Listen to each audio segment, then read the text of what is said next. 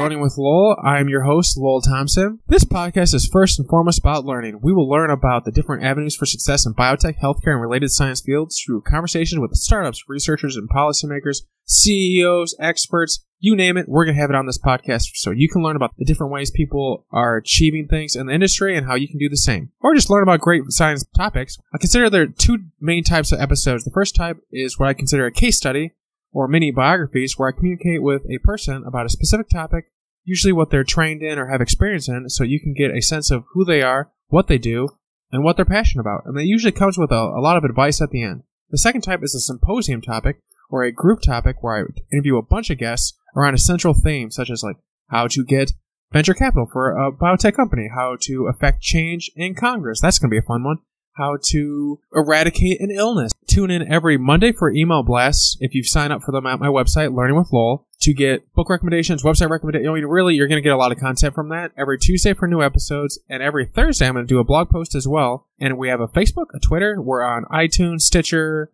Google Play, TuneIn. Basically, device connects to the internet. You'll be able to get these podcasts. Please leave a review and tell everyone, please and thank you. Today we have Dom Falcao of Deep Science Ventures, one of the founders. He and I get into a great conversation about the things that he's really passionate about, you know, finding people in their early careers and giving them opportunities that most people wouldn't. You know, there's gray hair fallacy in the biotech space, and they have a very unique value proposition at Deep Science Ventures that I think everyone's going to kind of like. And if you are interested in learning more, like ch- definitely check them out because they apparently sponsor visas, but they we get to that at the end. But for everyone, I think you're going to get something from this. You're going to learn about you know science. You're going to learn about you know missed opportunities. You're going to learn about UK development. I mean, there's a lot of really neat things here. I, I generally enjoy it, and you get a lot of historical uh, context. Uh, Dom and I have a fun conversation uh, talking about history at one point that I think anyone will enjoy. And there's a, a lot of book recommendations, surprisingly. So I hope everyone enjoys this, and if you have any comments or feedback, please send them my way. Thank you. How did you get into deep science ventures? Like, I think in our previous conversation, you mentioned that you kind of found someone who, like, you're you're one of the founding partners, I believe, if I'm remembering correctly. And so I'm kind of curious, like, how did you find yourself in such a position?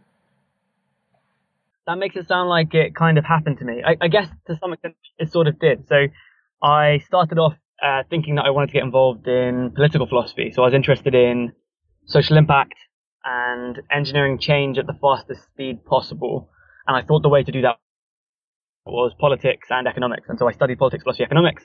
And it was realizing that that was a bad way of changing things that led me to look into startups. And then as soon as I looked into startups, it made me realize that the most interesting thing in startups was uh, scientific innovation. And so I took a role at Imperial College, and my job there was managing a portfolio of early career scientists and, en- and engineers and running a pre accelerator there called the Venture Catalyst Challenge. Um, and it was working with those startups that I realized that there was a huge misperception of the capabilities of those entrepreneurs and that someone needed to do something about that misperception um, and so myself and a colleague, Mark Hammond, who'd set up the Venture Catalyst Challenge, we left together to start Deep Science Ventures to, to, to right that wrong. What was the disparity you guys noticed that made you want to branch out? So I was working in um, an 80 person organization, had a fund of several, uh, several hundred million pounds, and it was investing in tens of companies a year, but it wasn't investing in any of the companies that were being produced by these early career researchers. So that's a quite stark contrast. So if you were a professor starting a company, it would be relatively easy to go and raise investment. But if you're a PhD graduate or a postdoc with a with 10 years of research under your belt and even a couple of years of industrial experience, it'd be significantly harder. And that didn't seem to map into outcomes. So the willingness to invest didn't map into the likelihood of success. So, for example, whilst we were working at Imperial, just over the three and a half years that I was there, five of the companies I worked with, I worked with about 75, 80 companies. Five of them went on to exit to multinationals.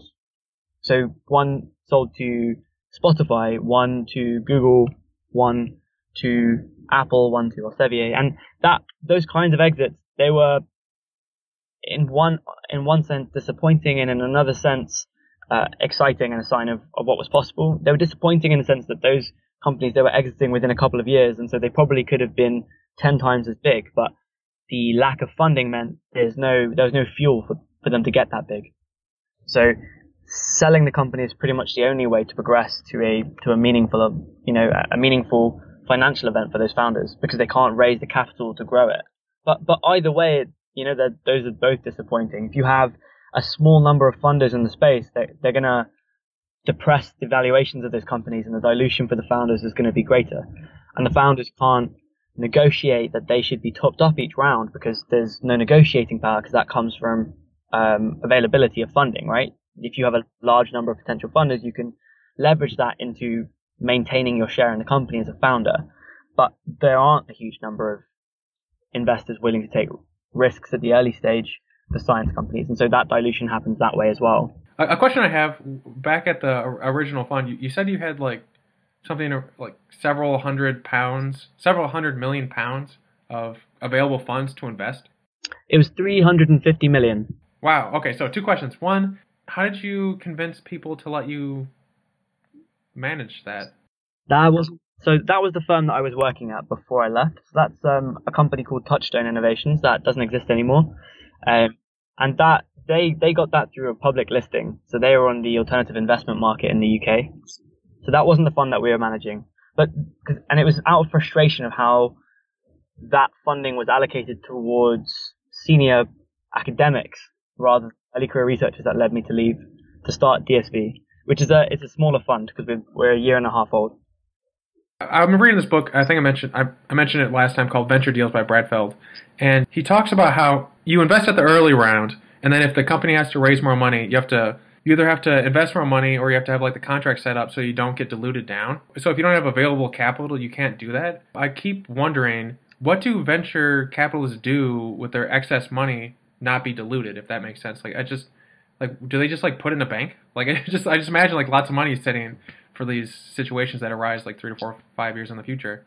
Depend on the structure of the fund, and I, I, I don't, I can't talk for all fund structures because there's quite a lot of different available options.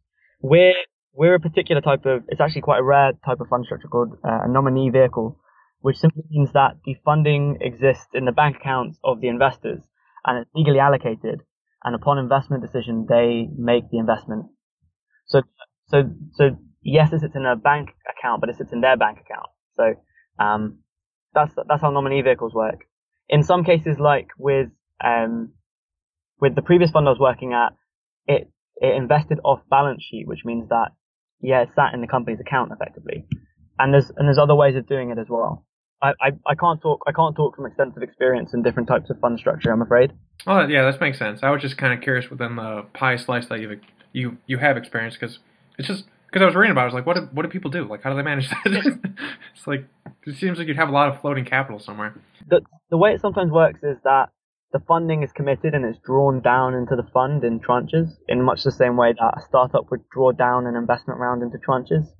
Uh, and that's just a way of ensuring that there's not lots of, you know, um, liquid capital sitting in a bank account not accruing any kind of uh, increase in value so that they can do something with it. And, it, and you normally do that on a, on a fixed schedule so that it's predictable, so that the investor can make the capital available just before it's required to be drawn down.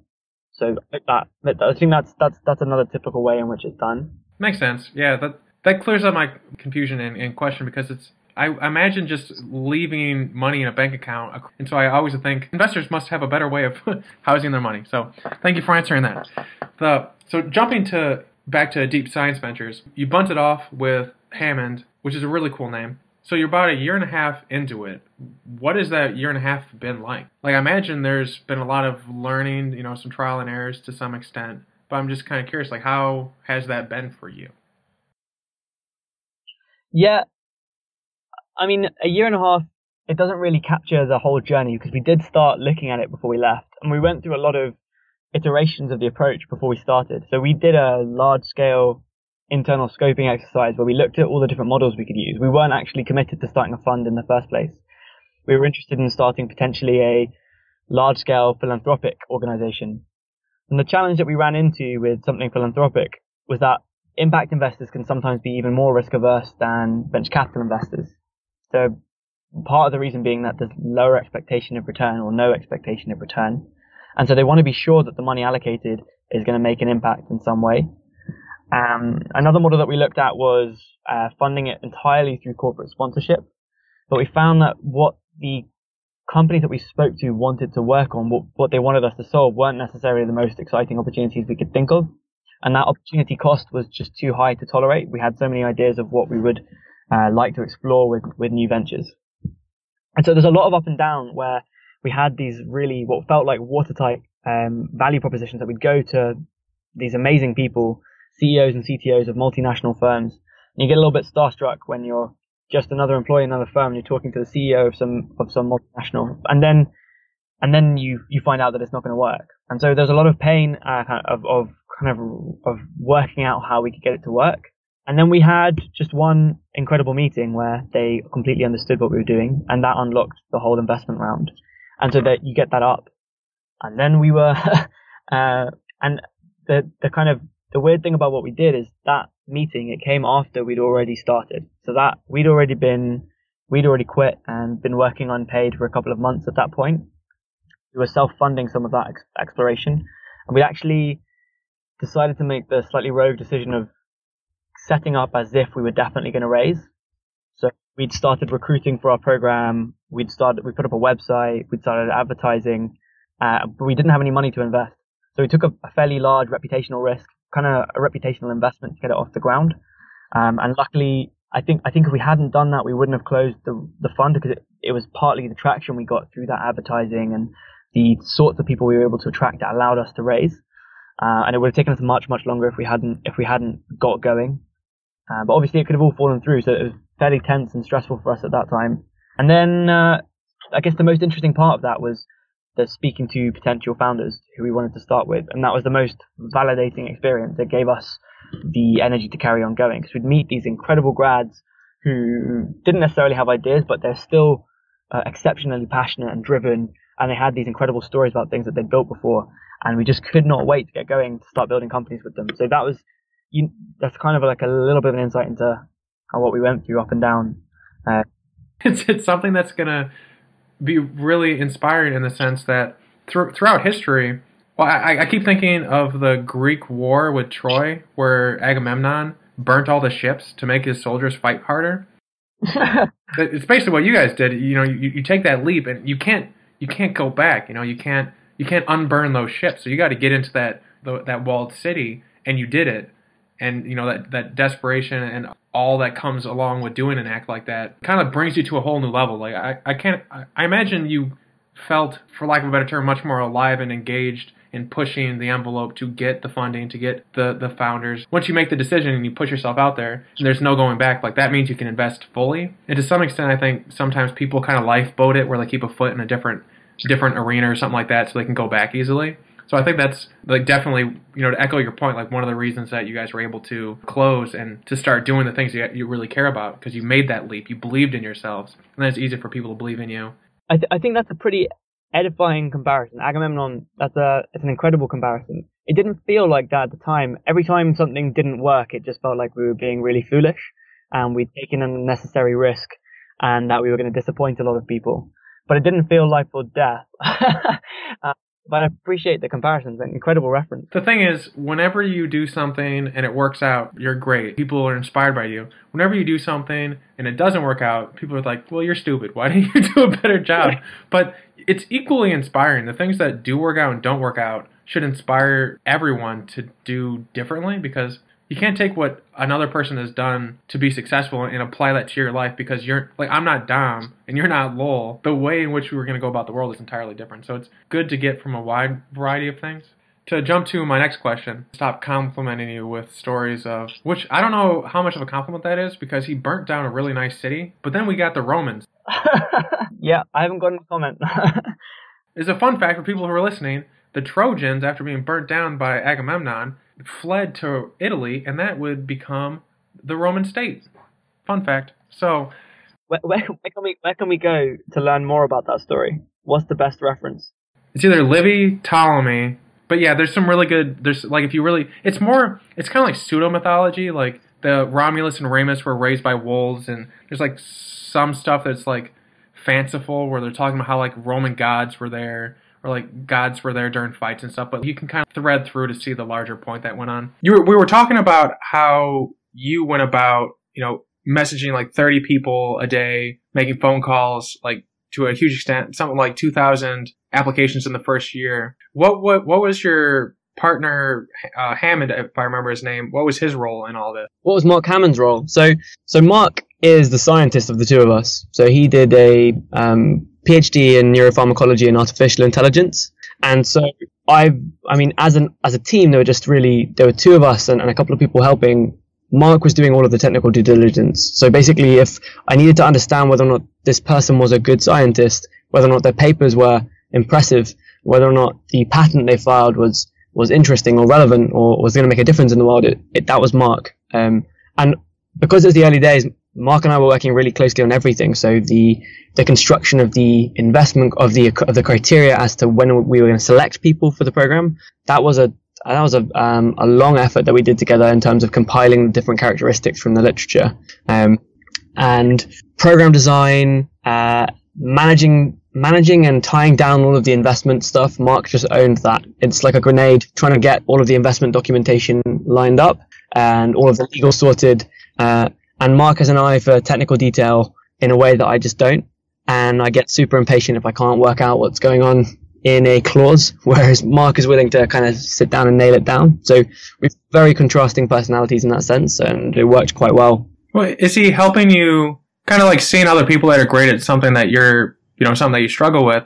Are you like internalizing any of that and like trying to push yourself to learn like how to do those type of things, or just uh, learn like pr- improve yourself? That's a great question because that those two impulses are constantly in tension for me at least whether or not i should be specializing or whether or not i should be improving generally. And and overall we tend to specialize and, and delegate but there are some things where it's really important that we both know how to do them. So increasingly i'm involved in so for, for, the last this is really embarrassing actually for the last uh, 12 months or so mark has looked after all of the finances for deep science ventures. And i'm just getting to understand so for example today after this podcast i'm going to run payroll and it'll be the first time that I've ever done it. Uh, Mark's been doing it consistently up to this point, and so we're starting to share some of this responsibility because, apart from anything else, it it makes uh, operational sense to be able for, for us to both be able to do it. Because if he goes on holiday, then no one gets payroll, and that's just so inconvenient. So it's a mix of uh, sharing some admin stuff and, and, and otherwise specializing on on stuff where it's not operationally dependent. Is there anything that you're working on that you're like, I want to be better at this. I want to push myself to this new height. Um, you know, read books, what have you. What do you have anything like that? So that's a, that's a constant process. At the moment, the thing that I'm really focusing on is understanding what makes a good venture capital fund, and that that's obviously a multifaceted project. It involves trying to understand how people justify them having someone else's money to make allocation decisions. It involves trying to understand what the burden of evidence is on you as a fund manager when you're when you're presenting to, to, to LPs that you should be the one who manages that funding. It's about trying to understand um, where there is where there is really a lot of good um, a lot of uh, a lot of good practice for, for venture capital and where it's missing in terms of industrial sectors. And that's a that's something that, if I'm honest, we, I didn't know a, a, huge amount about, which is which is again a pretty embarrassing thing for someone who's been involved in running a fund for for over a year. Uh, and that that that's all necessary knowledge because we're currently we're currently fundraising ourselves. So it all feeds into deck construction for us, which looks very different from the way a normal startup deck would be. That there isn't a lot of money when it comes to early stage biotech. So do you use other like maybe tech early stage or uh, like uh, like like like a place like Y Combinator or or other industry, like how they look at things to kind of, or like how do you go about learning these things? Yeah, so that that that's why it's hard because there aren't a huge number of decks for, for pre-seed investors, especially not in the in the science space. That's one of the arguments that we tried to make in the deck is that there should be more funds like that. What surprised me when I looked at um, decks for decks for funds was how much time they spend justifying the existence of venture capital as an asset class. It's kind of like if a startup spent half their deck trying to explain that startups were a good place to put money in general before they started explaining that their startup in particular was a good place to put money. That's the that's one of the things that would really surprise me when I started looking at other other fund managers decks because they there's a, a group insecurity and a, and a general um, up and down trend as to whether or not people think about venture capital as a good asset class. Um, so that's one of the kind of interesting learning points for me, and, and, we have we have to go through that motion as well with with us. So it's kind of there's so much you have to do in in the same number of slides. You've got 15 slides. You have to explain why venture capital is good. Then you have to explain why biotech is good and other scientific disciplines are good. And then you have to explain why the early stage is good, and then you have to explain why you are good. uh, it's like a telescope. It it's a it's a lot of content to get across. So that's um that's been really interesting and I'm doing that in parallel to, to helping our cohort write their decks as well. So it's a good time to be reflecting. Sometimes makes you feel a little bit like a charlatan. You going away and reading about how to write pitch decks, and then going and telling your portfolio how they should be writing their pitch decks. But um, it's been a, it's been a useful process anyway, reflective process. So it's not that there's a lack of support for venture capital as an industry. There's a lot of support, government level, multi-government level. So at the, for example, at the Europe level, there's a huge amount of support for it. Rather, it's that the data is uh, ambivalent as to whether or not venture capital is a good way of investing your money. And you're making a case to people who don't solely invest in venture capital. They have a choice as to whether or not they invest in real estate or whether or not they invest in, um, in, you know, in, in, in tracking the success and failure of nations, depending on how much money they've got. Um, whether or not they put the money in a, in a, in a tracker account that, that looks to match whatever the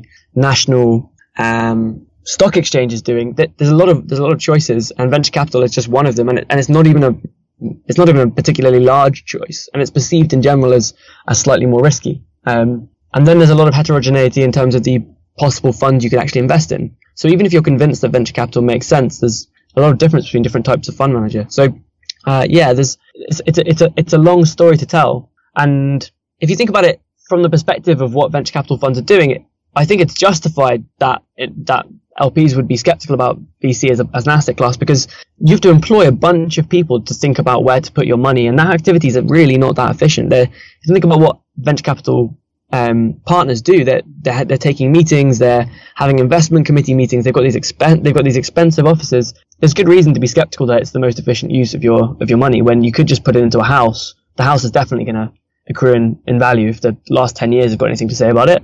And uh, then someone's going to buy the house for more than it cost before. And, and what, what is the risk with that transaction? It's unlikely that, you know, in the same way that a company goes bankrupt, that the house is going to get hit by a meteor.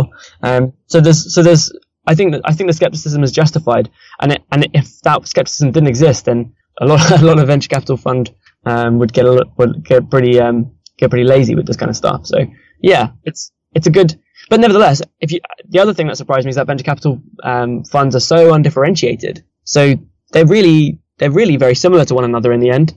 And I think that might reflect the fact that because they're so different from one another, one another, investors in those in those funds look to put the money in, in several different funds, and so it doesn't actually matter that they're um, different or not. So yeah, it's it's a completely different attitude um, to, than than to, to investing in startups where you want where you really want all of the different startups to be different from each other.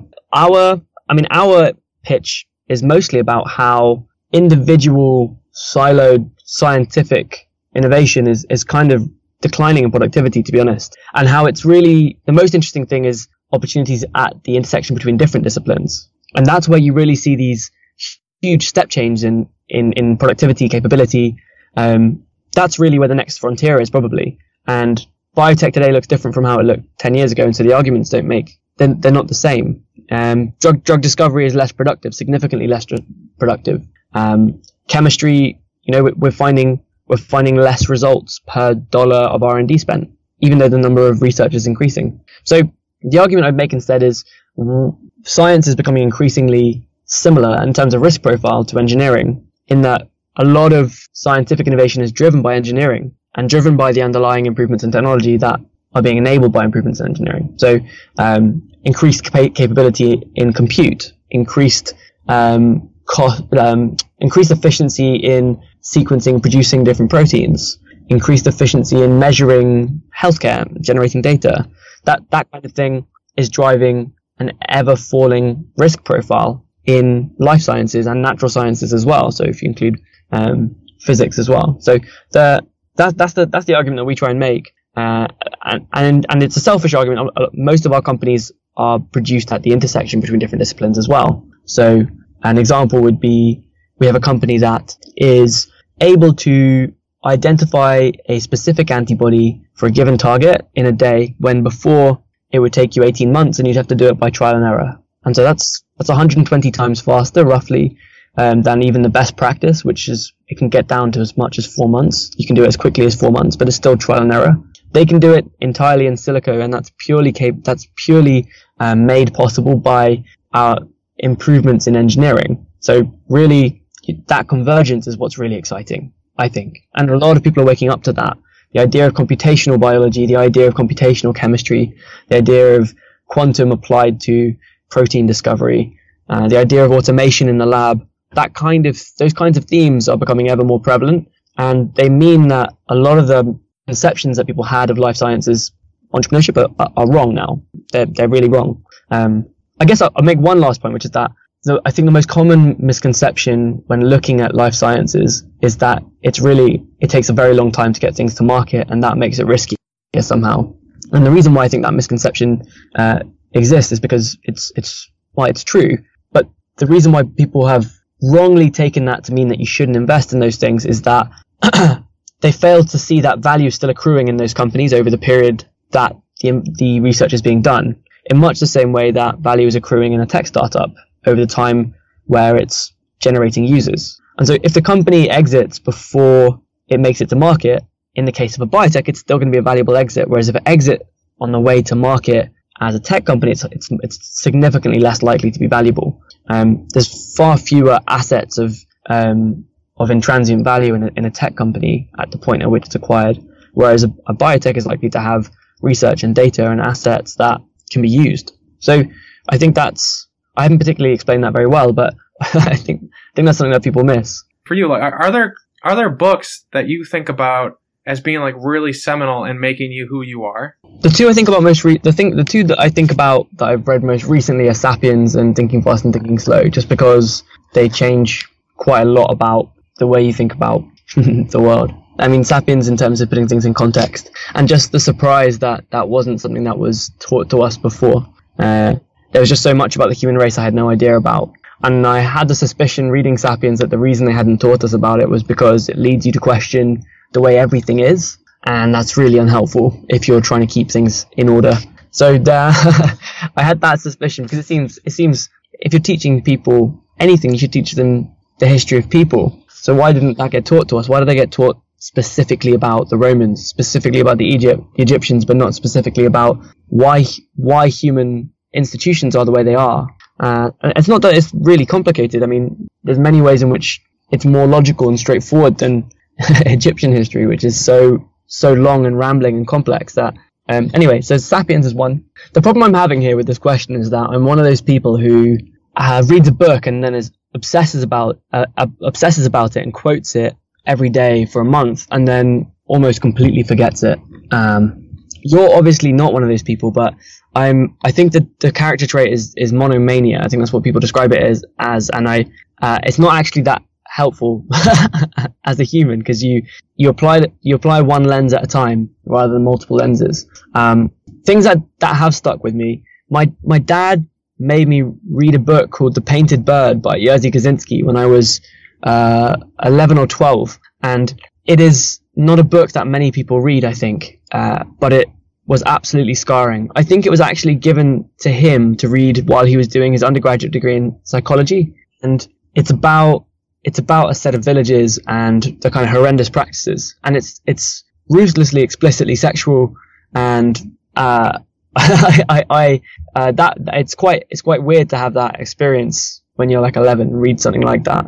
But it, it changed the way I thought about things quite a lot. Um, um, another book that I think about quite a lot is A Child Called It, which is about a child who was abused by his mother ruthlessly, and that's without realizing it, I was learning about gaslighting, I was learning about emotional and physical abuse, I was learning about survival through hardship, I was learning about the effect of formative psychological experiences on an adult. The other book that um, has fundamentally shaped the way I think about politics is A Theory of Justice by John Rawls, and for anyone who studied politics and philosophy, that will be a common one. Um, this it's it's a kind of landmark in my life in terms of the way I think about fairness. And if you're looking for a guide on working out what's fair, there's there's no, I've never read a book that's more theoretically uh, sound in terms of understanding fair, like fairness is a universal concept as a theory of justice, as as dense as it is. This will this uh, this question and how I phrase it will probably will not be put in verba- verbatim, but how do people go about raising money in tranches so that so that like the investor is satisfied with what they're doing? Like how do they like is that something that has an intrinsic motivation for people who are seeking an investment to add tranches in or does it benefit them to not have tranches? And then if they do have tranches in, what should they be thinking about to ensure that they don't get like a bad tranche? I I don't necessarily think it's a good idea to decide that you want tranched investment without doing that in the context of talking to a specific investor and in the context of their specific concerns with respect to your company. So say you're starting a company and you're constructing a, um, say uh, you're constructing a, a new kind of insect and there are several risk points and your investor really fixates on the idea that maybe the insect that you develop is going to be a giant killer insect and, and, and it's going to blight society. You, you might, you might decide you're going to tranche funding on proving that that's not going to happen you know, so as to convince them. And then they'll be a little bit less concerned. And you use it, you can use it as part of the argument. Um, I, I, think that's a good way of doing tranching is to identify where their insecurities are uh, as investors and then say, look, if you don't think, if you don't think we can do this, then tranche the funding on it. And, um, and once we do it, then, then we'll pr- proceed. And, and it kind of kills the argument. It also shows that you are really aware of the, of the meaningful risk there. And it's, it's easier to make that kind of argument than to than to try and convince them that there's not a problem because you're you, you're in a weird situation where you're they've identified a risk for you, maybe one that you didn't identify for them, and you're always going to have an agenda in making your argument to them that that's not a real risk. So it's, it's sometimes better just to accept that it is a meaningful risk and tell them what you're going to do about it. Um, one of the things you might offer to do about it is to not take some of the funding until it's until it's until it's fixed. So I do it, I do it that way. I, I don't know exactly what you mean by a uh, a bad tranche. Um, the, the only thing to be really careful of is that you don't run out of money. That's it. Yeah. So like if you accept a tranche, like they say, like show us that the fly will not kill other people, and there's like some tests they can do to do that.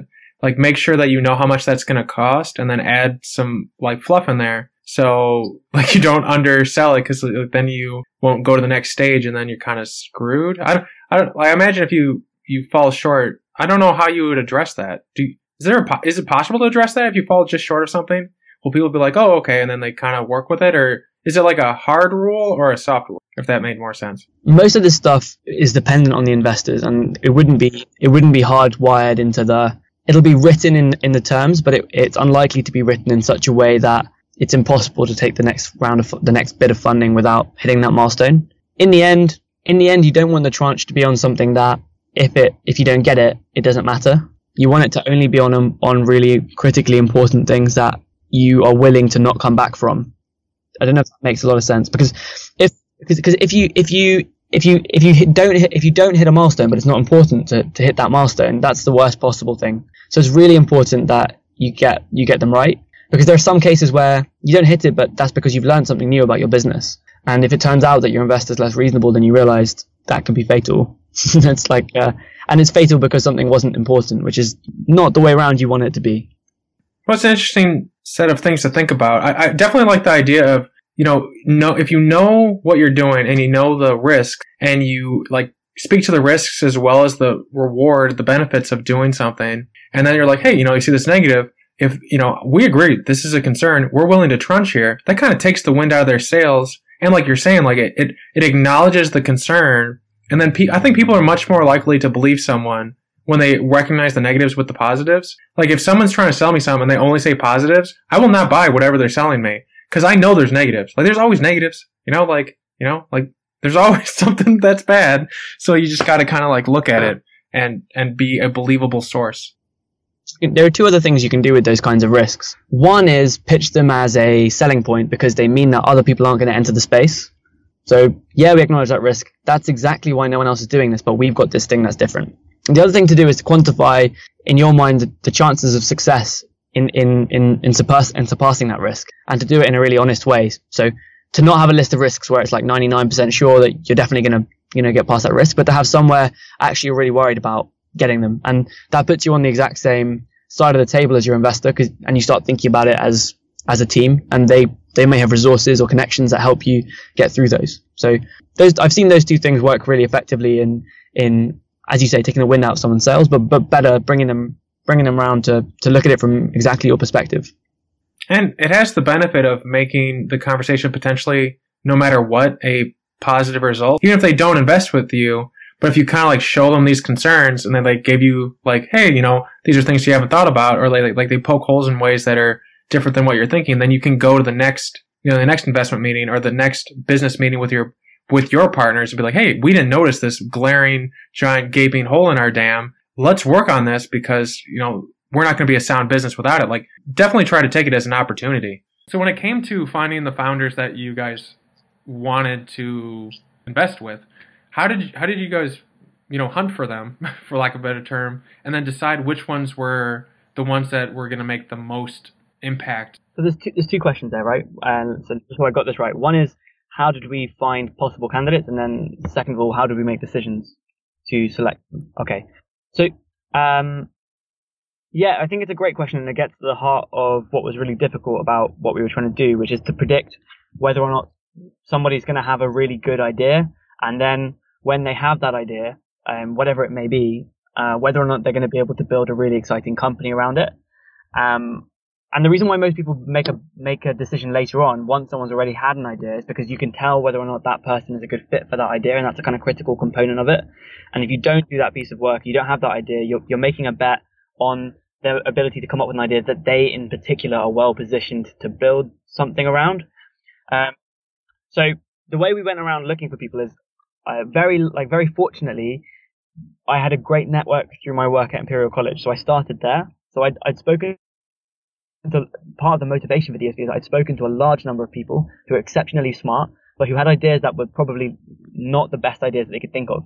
And so there was a sense of we had unfairly not chosen to work with those people because they hadn't come up with good ideas.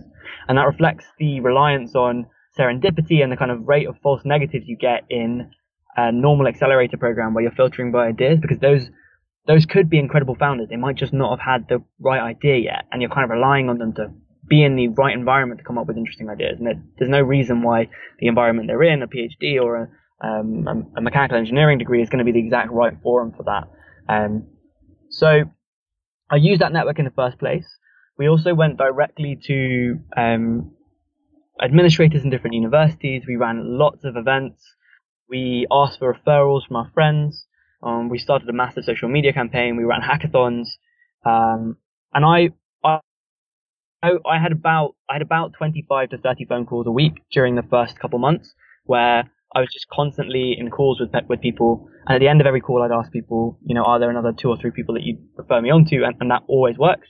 And so we got we got hundreds and hundreds of applications in that first phase. Um, in the first year in total, we got around two and a half thousand applications. Wow. And it was just you and I'm sorry to interrupt, but it was just you and Hammond at this point. So you guys went through 200,000 applications alone. We had a couple of uh, people come and help us. So actually, what happened was a couple of the people that we decided we'd like to do the program early on, they'd finished their PhDs already and they were at a loose end. So we hired them as interns to come and help us build the program until it started. so uh, that was kind of the advantage of having that that set of people, as we had a chance to um, work with some of them ahead of time and, and, make use of their entrepreneurial abilities and their intelligence. So that helped. Um, but yeah, effectively it was it was us just filtering things, and we we had um, a, a, set of levels of, of filtering. So there's minimum quite like uh, eligibility for the program. Are they able to join at the time when we want them to join? Uh, do they have the level of qualification in the right degrees? Have they done something or anything that indicates that they might be well positioned for this program? And then what we did for the hard part, which is the making the, the decisions part, is we made a list of all of the best entrepreneurs we, we knew well. And we made a list of all the characteristics that we could find in the literature that were supposedly indicative of entrepreneurial capability. So we read solidly for the preceding uh, six to 12 months, trying to find out what, what possible candidates for predictive efficacy and entrepreneurial capability we could find. And then we, we scored all the people that we knew against those characteristics based on our experience of them. And then we picked out the characteristics that had the greatest predictive efficacy of success. And then we used those in filtering candidates. And then and in the subsequent cohort, we we looked back at those characteristics to see whether or not for our particular program those characteristics had been helpful, and we revised them from from the based on the score we got at the end of the program versus the score we gave them at the beginning to see whether or not we were making successful appraisals on those characteristics and or whether or not those characteristics were useful. Um, and we, we've done that a couple of times since. Um, and it's now we've now got a semi-automated system for doing that. So when you apply, you, you, it comes through to our backend, and, and you, you have a kind of rough score, and we can review uh, on that basis. There's a kind of like slight insight into the. It's a quite convoluted process, but we couldn't think of a better way of doing it because there's so much um, nonsense in the literature about and survivorship bias in the literature in what what makes good entrepreneurs. No, and the as Mark Twain said, I'm sorry for the long letter. I didn't have the time to write you a short one. So like you guys are doing a, a lot, so it makes sense that like it's not convoluted, like and, and or, or doesn't make sense. Like your your process does make a, a lot of sense, and so which makes me ask the question after doing this a couple times and kind of like which I really like the idea of filtering through and using experience and research to like build a better system to finding people because like then you can find people that no one would find and then which and then you then you bring them in and then you make even more of an impact because maybe that person's like the next Einstein or something.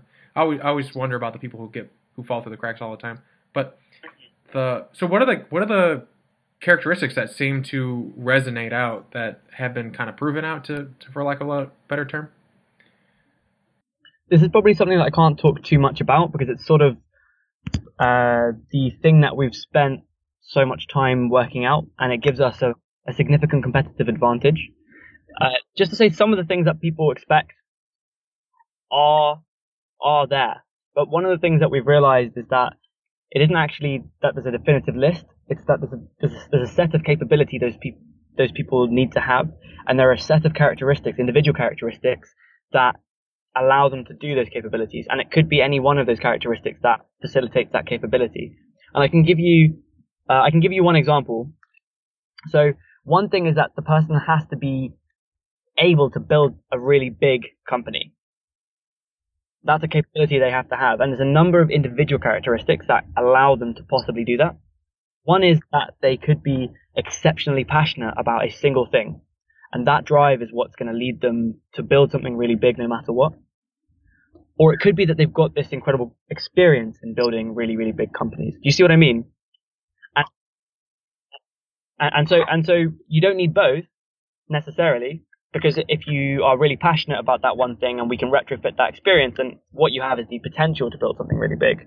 And so, and that's what we're looking for. And so that's the kind of, um, I think the most significant learning point for us is that it was about capabilities rather than characteristics. And most people, when they filter applicants, are looking for are looking for specific characteristics, X years in industry, X skills, um, is passionate, you know. Um, but it's it's not it's not it's not a tick box exercise. It's a multiple choice.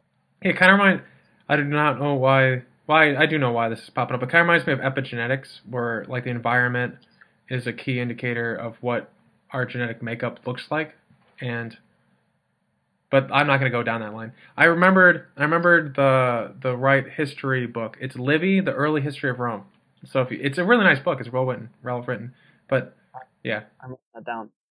I think the epigenetics point is more insightful than you realize for several reasons. Firstly, because when you're looking for potential, you're looking, you're trying to look at whether or not the things that a person's achieved have been enabled or disabled or suppressed by the environment they've been in. So that's one sign of potential, right? You're, you're trying to you're trying to compare what they've achieved to the opportunity they had to achieve it, and uh, I think we, we, we typically over uh, we overweight actual progress and underweight the advantages that a person had in order to reach those pro- that progress. And the second thing is that once they're in a program like DSV, the environment that you create for that person has a huge impact on their potential for success. And there's a lot of evidence that actually individual characteristics are far less important than environmental characteristics. So the quality of the team that they're in, the advice and inspiration that you give them, you know, those are massively leveling. And if you give people the wrong sort of support and advice, the sort of environment and team. It's the difference between selecting an outlier, incredible founder, and a, and someone who's never going to be able to do it. It's it's as powerful. So again, I think that's probably underweighted, and it's something that we're that we're spending a lot of time investigating at the moment. Speaking of outliers, this is a, another book. They there was this speaks exactly to your point. There was Oppenheimer, the guy who worked on the Manhattan Project. When he was in college, he stabbed a professor, and he talked his way out of it, right? And he went on to run the Manhattan Project. There was another person equally gifted, but his college, like he lived really far away from the college, and he wanted to work out a way to move closer, what have you. But the college basically didn't give a crap, so he couldn't go to college. And now he lives on a ranch and like does, but his IQ is like off the charts. Like he's equally as intelligent, but he was like kind of like denied that opportunity to some extent. And so it's interesting to see how an environment like one you know one switch like someone wants to work with Oppenheimer and Oppenheimer's pretty smart at like talking people into doing things. He gets to he gets to stab a professor and can continue on with his day. But one guy he lives too far away until they drop him. So it's it's interesting how how like those smallest things can change people's. But it, would, it would have been really great to hear of the other guy who kind of like got dropped come back and still do great things. I think that would kind of like echo your point of like what, even given environmental conditions, are you able to uh, go above them? Like if there's an adversity of being dropped by the college, rebound from it. But yeah, if you want another book, that's a good one. What book was that? Outlier by Malcolm Gladwell. Oh, by Gladwell. Okay. I remembered it because you, you, you said outliers. I was like, oh god, that that, that reminds me of these this story that kind of echoes your point really well. Um, that guy's really smart. The well, I just think it's crazy that Oppenheimer could stab someone and get away with it. Uh, and then yeah, let's give him the nuclear fissionable materials. That that's smart. I do want to hear more about that, and I also want to know whether or not they knew. Did they know? Oh, they knew. The, the, the government knew. They, they knew he was a communist, just leanings, and they, they allowed it because they were like, we're fighting Nazis right now. We're not fighting the, the communists yet. So I, I think I think one thing is people like people like DSV. We're, we're, we're trying to find inflection. We're trying to find someone who's undervalued. That's the kind the whole game. And so, uh, if you can find something in the environment that would lead people to have the wrong opinion of someone, then you're finding a secret, you know, to, to use Thiel, to use Thiel's language. You're finding something secret that other people aren't seeing. Uh, and so when Oppenheimer stabs someone, it, it, that's probably going to be the headline that you, that you read when you're thinking about Oppenheimer. And so if you're looking for the guy who's going to make the difference, um, that you're going to see a huge uptick on from, from selection to, to, to result, it's probably him. Uh, I mean, Oppenheimer's probably going cheap at that point. yeah, I, you, clearly he was gifted, but it's just it's just interesting. And then yeah, adversity is a weird thing. I don't know. He was a hothead, but not to get away from what we're talking about. The I think one of the one of the big things that we wanted to talk about was this idea that we're we're kind of like echoing back and forth as we as we talk, which is that there are people in this world with with great potential and they're overlooked either because they're early on in their career or for a variety of reasons. And I think this pulls to a quote which is I forget who says it, might be Benjamin Franklin, who said that the greatest repository of innovation and knowledge resides not in a library or the internet, but rather the grave, because people don't take their shot or give them their shot or whatever that reason is, they take it with them to the to the grave, and instead of making the world a better place, they just kind of you know take it with them to say that statement three times. So I think like that was one of the key things that we wanted to talk about, like this, like yeah, I I, I think I think uh, to to re, to rephrase that quote, the greatest loss of potential and creativity and innovation lies in people's second career. I think in their in their late 30s, in their late 20s, early 30s. I think probably that's where m- most potential for innovation and creativity goes to die.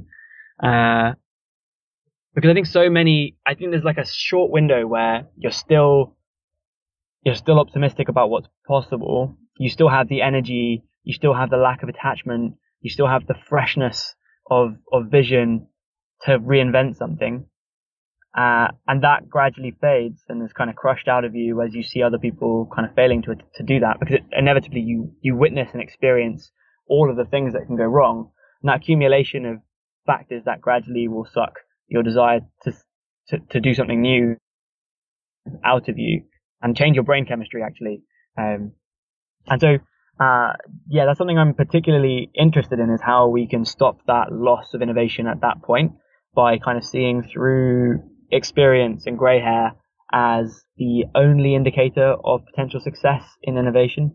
Because at the moment, that's, that's how it feels, the way that people think. So if you're, um, if you're a set of three operators who've built successful companies before, even if you're just at concept, you're far more likely to raise a Series A straight off the bat than if you're a series of uh, early career scientists and engineers who've got this incredible idea, you know, that's very, very well thought through and you've got early commercial traction you know, the progress that you've made will be, and the, and the, the innovation in the concept will be far less valued than the experience and dem- demonstrable proof that the, that the uh, experienced team has. And that's kind of what I, I talk about unorthodox scientific founding teams being these early career researchers who, who want to reinvent something. And I'm super passionate about the, the, the kind of gap there. And I think it's in a way, without going too long about this, I, I think it's, it's very analogous to, to the way that people perceived um, young computer scientists in in the early 90s, right, and the, and the late 80s. There was that perception that they were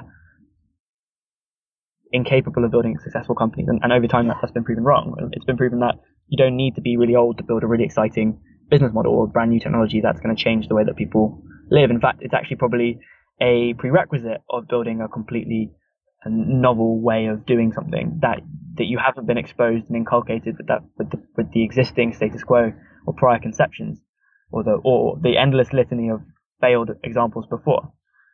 Yeah, that reminds me of this company. There there were chef people. They're like they like worked on how to make food. I think it's called the Duck Factory or something like. There's some animal in the name, and they they have a horizontal hierarchy because they found or they believe that when you promote people based on results of whatever they did, that you're you're basically reinforcing whatever that result is. So if if you want innovation, you want something new so that by definition is not something that was existing before. So like what they do is they'll like kind of assign team leads, but then everyone drops back down to horizontal when after the mission so that new ideas can, can churn up and you won't have like little political bodies within an organization around like keeping people at a certain level or like keeping jobs and so like it kind of like per- perpetuates the innovation because at, and this kind of goes to your point of this gray hair fallacy like the people who who have done things to get to that level are going to continue to do those things to get to that level. And that's not to say that they can't do new things but like it's it's you know what have they seen that is scary that has failed when people try new things? And what have they seen that is you know given them things? And they're going to probably go with the thing that has given them things so like young people don't know any better. you know, they don't have that type of track record because everything's new and they have that hunger that you're talking about. And I think that's what you guys are trying to tap into and and especially I think I think it's very analogous to the the 70s like nowadays with all the new biotech technology that's going out and how easily and more available it is like it, I think this is this is a very exciting time to live in for for biotechnology. I think I think the, the, the general perspe- perspective is that biotech is different. So if you talk to if you talk to investors in the space or later stage VCs, they'll say, you know, computer science companies they're not like biotech companies. A, a young founder can do a computer science company because it's straightforward, right? You just need to set up the application and scale it. Whereas in biotech, say you're, and particularly with pharmaceutical assets, say you've got to go through clinical trials, you have to know how to go through clinical trials. It's absolutely critical.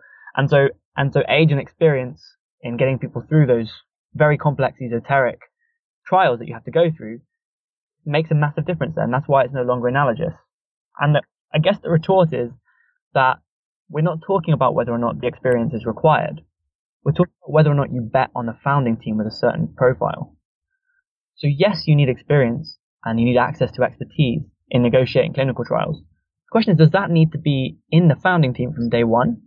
And it's the same with pretty much everything. Um, yes, you need experience and expertise. Never, I never devalue or say that it's not, requ- say, say, you know, there's a, you know, people who are experienced are useless. It's, it's not that. It's that making early bets on the thing that's going to transform an industry. Should you be looking for their ability to go through processes, fixed processes that are complex, or should you be looking for their ability to do something completely new? Um, and I love I love the example that you gave because the uh, idea that somebody who's done something before is, is capable of doing something completely new again that's that's a really interesting question. I mean, there's definitely evidence to suggest that if you've done something new before, you're capable of doing something new again. But it, it is not necessarily a direct correlation. It's not predict. Yeah, and well, I think you can hire for experience. You know, like you can have a, a founding team with, you know, that that passion and that drive that are going to do the long hours to kind of gain that experience, and they can have advisors and stuff to offset that skill set. So like it's it's more a thing to be considerate of, I think, than to be concerned of. I, I feel, but you know, what do I know? you know more. I, I mean, I, I'm in agreement on this. All right, then I do know more. I, I know enough.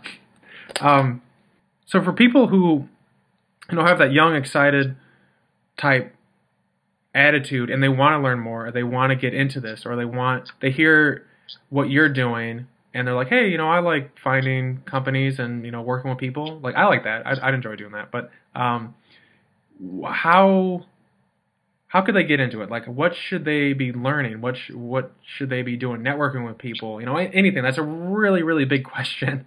But like, what would be your advice for people listening in that want to learn more and have the hunger and desire to learn more and to put themselves in a position to make a difference?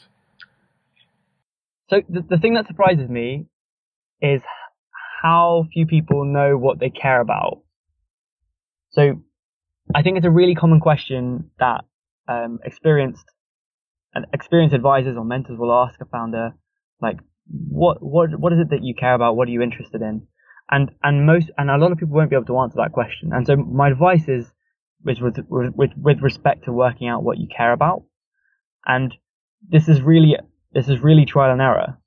Um, and it's, it's similar to the way that people conduct lean startup methodology, right? So you have a hypothesis as to what you think you would be interested to work on.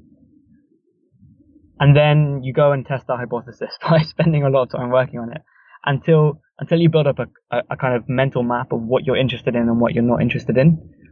That's going to be the most valuable thing you can do when you're getting going because it acts as a guide for you in terms of how you spend your time. It acts as a way of turning down uh, distracting opportunities that arise because they will come up as you're doing this and they'll be way easier and better paid and they'll make you less anxious to think about. Uh, if you know exactly what you're interested in because you've done that experimentation and you've built that roadmap for yourself, then you can justify spending time going really deep on something. And it's, it's, it's that justification that's going to allow you to build up an expertise in something and a speciality.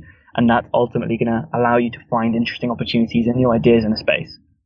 So that's a system for kind of de-risking it personally. Because if you just don't, if you if you've got a kind of broad idea, you want to work on something, you want to solve some sort of problem, you want to make an impact, you want to do something in science, you're going to get distracted. You're going to end up in another postdoc.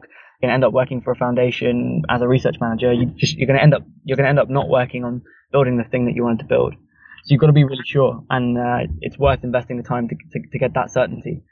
And the way that I would start conducting those hypotheses by talking to people who are building companies in the space, by talking to uh, multinationals to understand the process that they're going through in that product, um, to talk to researchers about the field, to read widely and deeply um, on those on those categories, and to build up kind of a personal file for that thing, so that you're starting to to get a feel, get a grip as to where the gaps and opportunities might be. And that, that skill in itself is going to be a repeatable exercise that you can do if and when you exhaust that, that as a possible avenue. Um, and I think that's, I think it's basically the template for starting a company as well. So once you've picked something and you're, and you're building a company, you already know lean startup methodology because you've been doing it with your personal desires and interests. Uh, that's the kind of, if you are really ambitious and you're going to do something outside of an accelerator, I think you're going to be fine if you, if you, if you take that kind of approach. You don't really need anyone else. You can build your own mentorship network. You can find the investors who are specialists in that space relatively easily if you're starting an accelerator program, you just email those people and say, I'm running an accelerator program. So if you're starting a company, you can do mu- much the same thing on your own and you can probably do something tailored for yourself.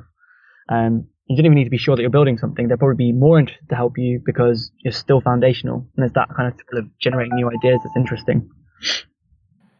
Yeah, I I think it's the Lean Startup is is a book by Eric something something something something. But Advice. yeah, there you go. The as a as a uh, it's basically the scientific method for people who are like really science nerds. Like the, the process he goes through is like the repackaging of the scientific method, which is really fantastic that people can use it to build science companies. So I, I think that's for people who haven't checked out that book yet, you know, definitely do it and then kind of like try and see how relatable it is to the scientific method because it it's pretty close. It's it's, it's an interesting factoid. And that's why and that's why it always shocks me when people say that scientists can't be founders or shouldn't be founders or inventors should step out of science companies. They, you know, they spend their entire life on uh, working through an evidence-based methodology, running experiments to try and get results, and making decisions on the basis, you know, allocation of resource decisions on the basis of those uh, of those experiments. And so to transition that into into a commercial context, it just takes a, like a couple of hours. it just takes a couple of hours of mindset shift, and then you can see it. All right, so uh, in the final questions that we have, what are some specific? Because I think people really love kind of getting like a a sample of things to check out, books. It, it, can be related to what we're talking about. It can be not related. Books, resources, because the there's there's so much out there. Then kind of like limiting it down to things that you enjoy, I think would be very beneficial to other people. So what are what are some recommendations you would have? So I'm going to give you a disappointing answer to this. I I've I've been looking back through the books I've read recently, and I've been trying to work out which books don't fall foul of either the fact that social psychology isn't repeatable and largely isn't repeatable in a in, for entrepreneurship either. You know, they, they they will run a test with a sample size, and then it's impossible to find someone having reproduced that experiment. A lot of Kahneman's work, for example, in Thinking Fast and Thinking Slow, hasn't been reproduced anywhere. And a lot of studies he's quoting were on small samples that that no one has been able to recreate outside of the US, for example.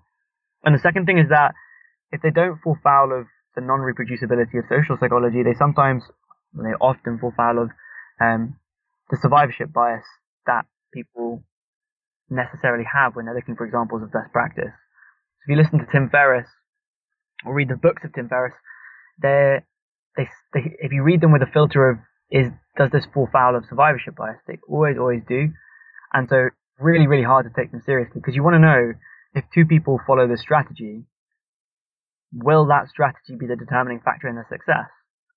Or is there is it a set of external factors that are not included in this study or this experiment or this case study that actually were determining success? And so, un- unfortunately, uh, I've I've stopped recommending books about entrepreneurship because I don't think I don't think there's a lot of good I don't think there's a lot of good uh, evidence out there. Well, we got to write that book then. We'll uh, I'll uh, I'll distribute it. I guess I'll I'll put it on my podcast. Like, guys, check out Dom's book. We'll we'll have it'll take you know it'll take years, maybe ten years, but you know who cares? we'll start now. So look, let, let me let me let me do something. There there are there are a set of academics who I think are really exciting. So um, I'll give you one who I who I can vouch for as his work being really interesting and rigorous and still like readable because sometimes those are mutually exclusive. Um, and that's Justin Berg over at Stanford, and he's writing about basically um, the ways in which people come up with ideas and the way that we judge ideas. And he's running he's running randomized control trials on that stuff to work out what factors are predictable uh, or have predictive efficacy in working out whether or not an approach to coming up with an idea is going to come up with an innovative idea or not. And also what approach to forming a judging panel is going to lead to judgment towards the ideas that are most likely to succeed. And I think his experimental approach to understanding um, ideation is one of the few where the sample sizes are big enough and the methodology looks tight enough that um, I'd buy it. Although he he sometimes ends up because because it's difficult to get that methodology to be watertight, he ends up with some str- strange case studies which might not generalize. So, for example, there's one in which he works with a circus trying to predict whether or not circus acts are going to be um, popular with audiences. And it's hard to tell whether or not that generalizes, but I thought the construction was beautiful. That's really fascinating. I have not heard of that person. Thank you. I love finding new little like niche. I, I prefer. I don't mind if it's readable as long as it's factually accurate. And that methodology, you know, like if you can have the the construction of how they got to their conclusions, then you can like break down anything. So, Yeah. which is logic, I think. I think the one the one that I really liked was called it was something like walking along the creative high wire, something like that. And that's a really good paper. All right, I'm writing down real quick. Long line, high wire. All right, so for people who have heard about Deep Science Ventures, heard about Dom, and they want to learn more, because you guys have, I like, this is for everyone who's listening. Check out the website he's about to say. I mean, it's Deep Science Ventures. I just said it for you, but the there's so much great blog content on there about these subjects. But for for people who would like to learn more, how could they learn more? Even though I kind of answered. Yeah, I mean, I, I would check out the website, um, deepscienceventures.com. Um, we're actually just about to relaunch our website with loads more content uh, because there just wasn't enough content on the old website. So um, yeah, that's what. so, um, but that's probably the best way. And if you're really interested and you think you might have the kind of what it takes to start a science company with us, you don't need an idea, you don't need any pre-existing intellectual property, you don't need a team, then you can get in touch with me directly. And um, uh, happy to provide my email, I guess, in the text for the podcast. Does it have to be in the London, UK region, or can it be all the EU, or can it be the United States as well? It could be pretty much anywhere other than North Korea, Turkmenistan, or Belarus at the moment, because we can sponsor tier one entrepreneurship visas to relocate to London if you want to, and because we're also working with people um, in a completely online way as well. So um, we're building companies in a decentralized way. So one of our companies, for example, has a team member in London, a team member in Paris, and a team member in Seattle. Um, another has one in Cambridge, one in Wales, and one in uh, Berlin. So yeah, you could be anywhere. Excellent. Then um, I think that's a, a great way to leave off on the podcast. We got we got to talk about so much today. Deep Science Ventures, how Dom and Hammond got to start the the the the, the, the company, for lack of a better term, and great advice for people who are looking to to get into this type of line of work. So I want to thank you for coming out, and this is really fantastic. I, I enjoyed this conversation. The very much for having me. Thank you for listening today. Please subscribe, leave a review, check out our website, learningwithlowell.com, or join my mailing list. I'm here to learn and share what I learn. New episodes every Tuesday, new emails every Monday, and I blog on topics that I find fascinating.